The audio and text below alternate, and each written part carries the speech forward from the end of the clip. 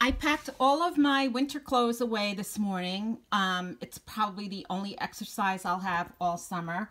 And I restocked with all of my old summer clothes. Let me show you what I did.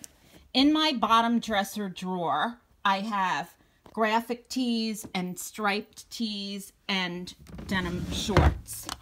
In my next drawer, I have solid tees. I have over 25 white t-shirts because I truly believe that you can never have enough white t-shirts. So let's take a look in the closet. The closet was actually the most challenging because there's so much shit in here.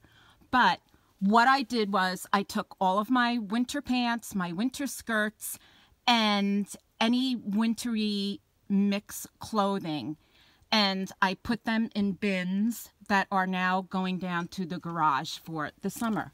Now, I did categorize things in a very strange and unusual way.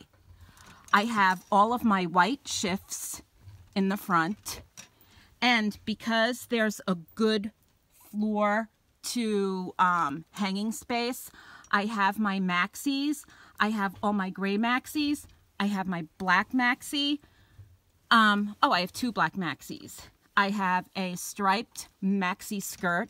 And behind that, I have my favorite summer dresses. These swing dresses were purchased at Old Navy last year, and the dresses ran the gamut between 10 and $15. I can't begin to tell you how great these jersey dresses are because I like non-fussy, one-stop dressing during the summer.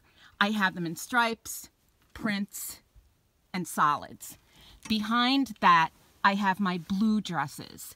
This little number that I picked up at J. Crew Factory last year is also one of my favorites. I'm not a gauze material person, but the gauze in this is so lightweight. And I think with sneakers, it looks really cute. Now I have my chambray dresses, which are old as dirt. Um, I have my Air France navy dress. This is a sheath, and I call it my Air France dress because I feel like I am a flight attendant for Air France whenever I'm wearing it. I have a couple of Lilly Pulitzers, although I have to say I used to be more of a fan than I am now for some reason, I'm just not crazy about these dresses anymore, but they're comfortable and I probably will find cause to wear them. Behind that are t-shirt dresses, again from Old Navy. These dresses are incredible. They're so washer friendly. I have multiples. I have two grays. Actually, I have three grays because I have one that I haven't opened yet. And I have a couple in black and I actually have one in navy.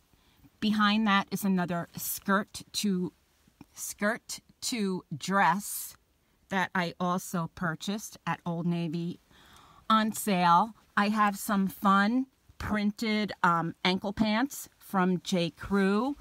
I have, I kept this brocade pair of pants out simply because they're really, really light. So if I do have a chance to get dressed up, I can pair this with a sleeveless shell.